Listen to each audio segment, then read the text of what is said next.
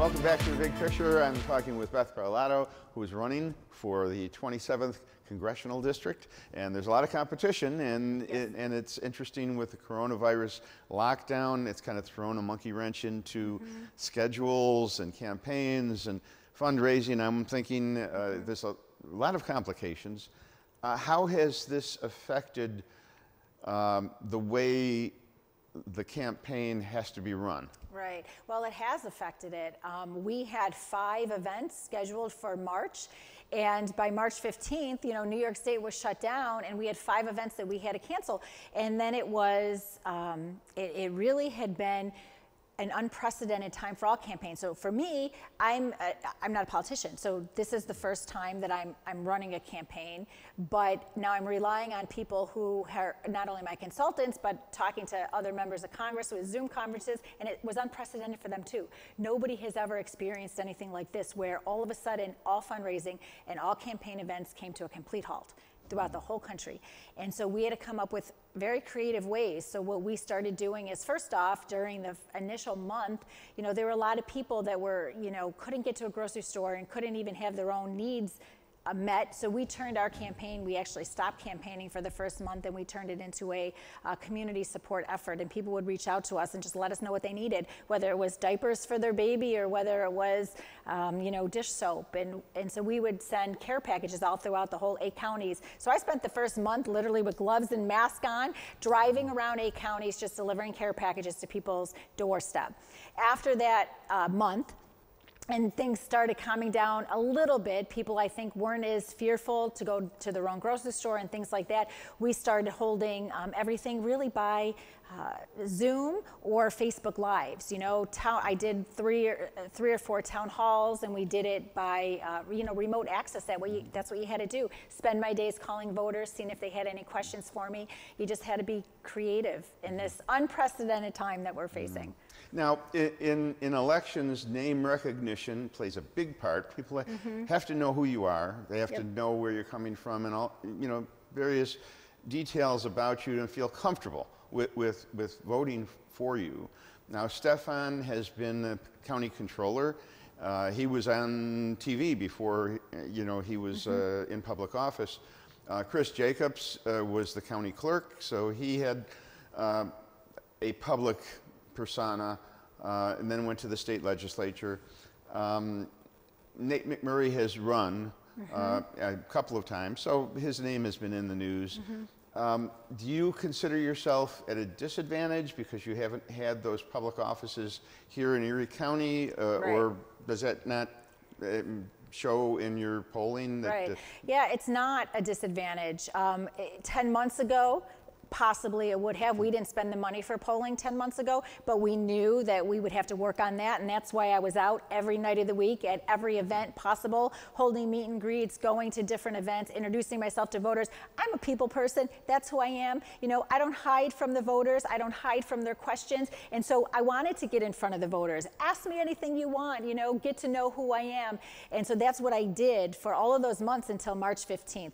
And um, I also have to just throw out there that you know, I have been an attorney for nearly 30 years, and I and I was a judge, and and so I'm not a complete unknown, especially doing my Fox News for four years. There were a lot of people that had seen me on Fox and Friends doing those segments all those years since early 2016, and the three people who you just mentioned, my opponents, you know, they're in uh, a lot of their jurisdiction where their name recognition is are, does not constitute New York 27 voters.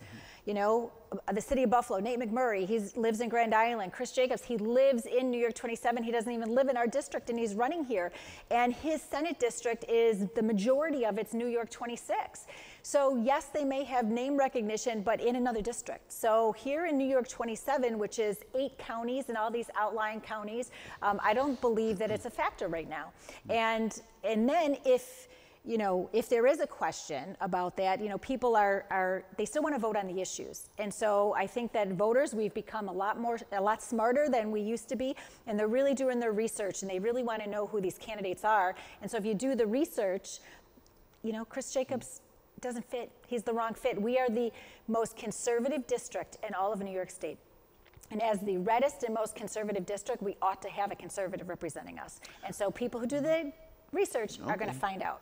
Here's your chance to talk about each one of your opponents and how you contrast with them on policy, Mm-hmm. basically on policy. How would you be different in Washington than each of the others? Right. Well, the first difference is the uh, most readily apparent, and that's because I'm a non politician. So I'm running as the outsider candidate. Um, I just believe it's so vitally important right now in our country. Let's go back to June 29th when I first got into this race. I was approached to, to look at this race. It wasn't that I woke up one day and said, Oh, I think I'm going to run for Congress. You know, people came up to me and said, "You have you have a voice for conservatives. You know, you should use that voice. We're going to have this open seat. You know, you should look at it because it, initially there were what 18, 19 um, current men, male legislators." That were interested in the seat, and you hear Bowerly and you know other people saying, "Where are the women? Where are the women?" And so at that point, people started approaching me that you should look at this. But when you when you go back uh, to the very beginning, when I entered into this race, I am a true believer that we have got to stop sending people um, into these positions that are only interested in their own political future. And I tell people this is not about Beth Parlato. I have zero desire, zero, to build a political future. My only desire is to be a doer and help get something done for our nation and for our country because I'm somebody who stands on principle and I'm not going to be afraid to stand on principle. So when I compare myself to my other uh, opponents, that's the first thing. I'm not a career politician and I'm just, you know, a regular voter that truly and deeply cares about our district and our country. Now, people have um, very, very strong opinions of President Trump.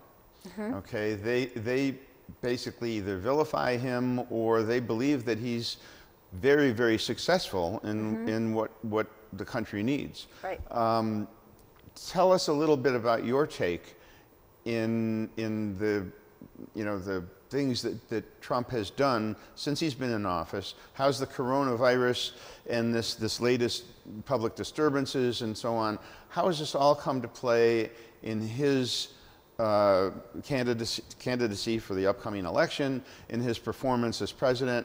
Um, give us a little evaluation of what you think. Right. Well, going back to 2016, um, you know, I have Fox News clips out there, at least a dozen of them, that I was supporting the president from day one. So I, I did support him, and I'm going to tell you why. Going back to that whole establishment career politicians, I looked at him as the outsider. I looked that he was the businessman. He knew how to run businesses, and our country was in. Um, I thought we were in trouble back uh, during 2016 after eight years of Obama. And I looked to the president, or looked to Trump at the time, candidate Trump, as the person, uh, the outsider who could fix it. And he beat 18 uh, establishment guys on that you know, stage, and he ended up being the candidate. And then look what he's done in three months. Um, I am a big supporter of the president's policies. You know, he didn't care what the establishment said. He, he doesn't care. You know, I mean, he just wanted to do what's best for the American people and what's best for our, our um, our country. Look at the economy. Not only did we have lowest unemployment, but he got rid of red tape regulations and big bureaucracy. He, um, you know, unemployment for minorities was at its lowest. Unemployment for women is, is the highest it's ever been in the ever.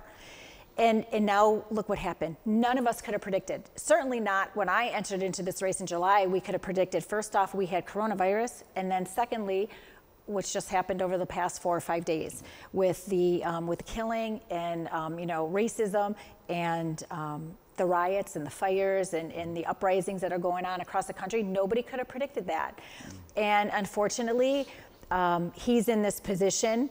We elected him, and it's and it's something that is beyond his control.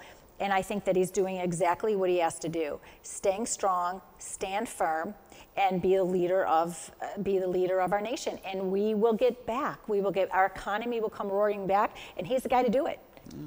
You know, well, we have about a minute left. Um, just to sum it up, if you go to Washington as our representative, what do you think, in your mind, would be the most important thing for you to accomplish when you're there? It changed. It, I would have said a different answer back six months ago that I'm saying now. So right now, the number one thing is going to be the economy. See, now months ago when I got into this race, the economy was the best it's ever had been, and, and it would be just to support the president and keep it going. Well, now with unemployment and look how many small businesses that probably are going to be going out of business, um, especially in these blue states who aren't reopening. Um, we are heading for uh, very trying times in our country. So right now, the number one thing on the agenda would be the economy and what we're going to be able to do for the American people. Um, secondarily, unity. What, look what's our country is hurting. And we have got to find a way to unify this nation. Um, I don't care if you are Democrat, Republican, progressive, conservative, or somewhere in between. Um, and I don't care what skin color you are, and I don't care what religion you are. We are all Americans, and we have got to unify.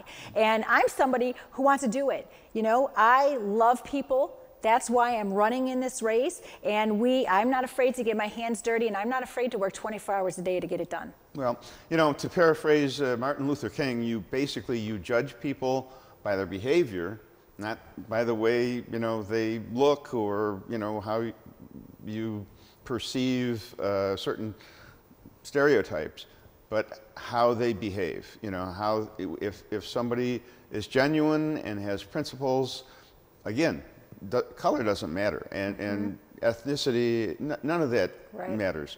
And there, you're right. There's far too much division in this country, and I think it stems from an agenda to take power, because division is a way to d- conquer, divide and conquer, and, and and it's a sad state of affairs when you have to basically win by pitting people against each other.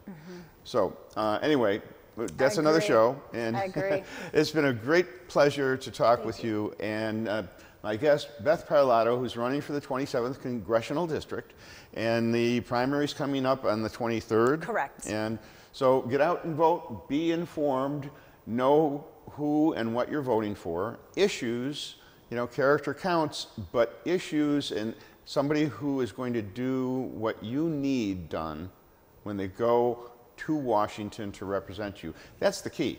That's what you make your decision on. So I want, to, I want to thank Beth for being my guest, and I want to thank you for watching WBBZ TV and The Big Picture. Anyway, this is your TV station, and we'll see you next time on The Big Picture.